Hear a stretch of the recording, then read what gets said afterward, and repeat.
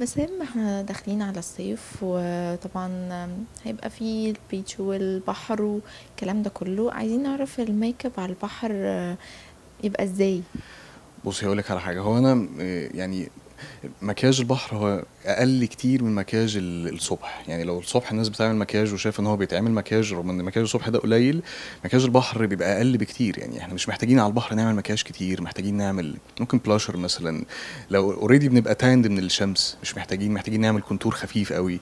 محتاجين نحط ممكن نلعب أكتر بال lipsticks وال gloss هنا بقى مكان ال gloss مثلا. هيبقى شكله لذيذ على ال beach آه، مش محتاجين طبعا نركب رموش وإحنا على ال beach مش محتاجين نرسم عين. يعني هو الموضوع كله إن إحنا بن- بنظبط ال contour ونظبط ألوان نلعب الوان الروجات. البنت قبل ما تحط ال make up وهي نازلة على البحر بتستخدم إيه؟ مثلا sun block ولا الروتين اللي هي تعمله؟ لازم طبعا تبقى حاطة sun block عشان تحافظ على بشرتها إن هي ما تتحرقش من الشمس أو أشعة الشمس الضارة. لازم نحاول نختار الوقت اللي ننزل اللي, اللي هنقعد فيه في الشمس ونبقى معرضين للشمس في time معين كده من ساعة كذا لساعة كذا اللي إحنا ينفع تبقى الشمس هتبقى مفيدة بالنسبة لنا مش مضرة. وطبعا ال sun block ده ده, ده, ده شيء أساسي على ال beach أو الصبح عامة حتى لو بنات بتتحرك رايحة شغلها الصبح لازم تحافظ على وشها بال sun block من الشمس. عايزين نتكلم أكتر عن ال sun block وأنواعه لل- بالنسبة للبشرة. البشرة لو دهنية لو جافة لو مختلطة. بصي هو هو عامة ال sun block كل كل هي مثلا لو هتروح تشتريه من أي مكان هي هي دايما بتجيب الحاجة المناسبة ليها بيبقى مكتوب على ال sun block إذا كان ده مناسب للبشرة ال- ال- ال dry أو أو الدهنية أو المختلطة. المختلطة بتبقى هي بتلمع من منطقة ال T-zone والباقي بتاعها بيبقى بيبقى جاف غالبا. فلازم طبعا تعرف تختار بتختار وتقرأ التعليمات والتفاصيل اللي مكتوبة على ال sun block تشوفها مناسبة لوشها ولا لأ لأن هي لو مش مناسبة هتضرها. مش هت... مش هتبقى هي عملت protect لنفسها بشكل سليم وضرت نفسها. فلازم تعرف التفاصيل اللي على ال... على ال... على ال product ذات نفسها وشوفها مناسبة ليها ولا لأ. يعني مثلا البشرة الدهنية بيناسبها آه، يكون ال sun block فيه إيه أكتر؟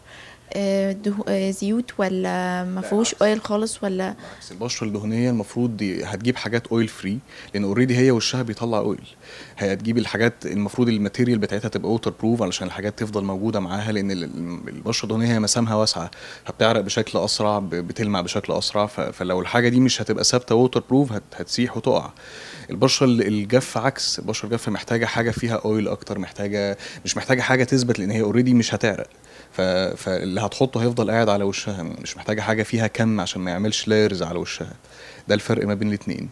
في حاجة اسمها perfect matte بيتحط قبل المكياج عامة هو بيسد المسام بيخ... بي- بيخلي البشرة يعني مثلا الناس اللي وشها بيعرق أو بيلمع هم بيبقوا بشرة دهنية فمحتاجين يحطوا حاجة زي ال primer مثلا لأن هو بيخلي الوش يعرق بشكل أقل. بي... بي... بيقلل من حجم المسام بي... بي... بيضيقها شوية فمش بتعرق بشكل أسرع زي.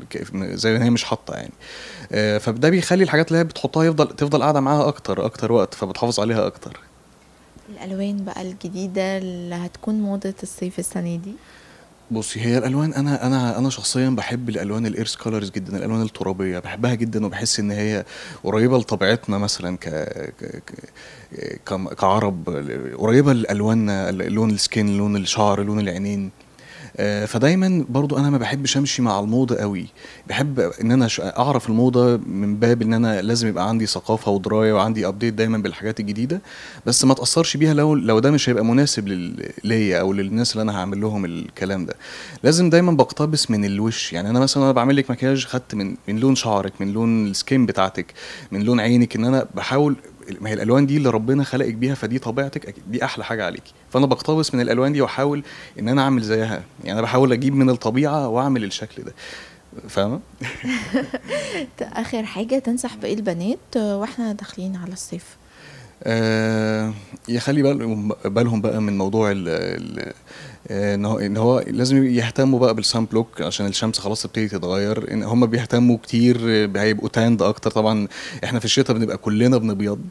ففي دخول الصيف كل الناس هتهتم إن هي تعمل تبقى تاند بالنسبة لوشها وبالنسبة لجسمها. فلازم يخلوا بالهم إن هم ما يتعرضوش لأشعة الشمس الضارة في الوقت اللي بيبقى فيه ضرر. خلينا ناخد الحاجة المفيدة بس اللي هتبقى مناسبة لينا.